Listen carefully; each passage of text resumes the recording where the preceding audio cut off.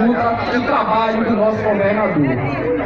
Uma coisa bem simples. Quando o Eduardo Campos era governador, ele trouxe muito projeto e muito benefício para o estado de Pernambuco. Por que ele conseguiu fazer isso? Porque o presidente era Luiz Inácio Lula da Silva. Ao qual, se Deus quiser, eu ainda meu voto. Porque ainda tem último recurso pelo STF, Supremo Tribunal Federal, onde vai acontecer o sorteio e a gente vai ver se Lula vai ou não disputar essa eleição. Caso ele não venha, nós vamos voltar no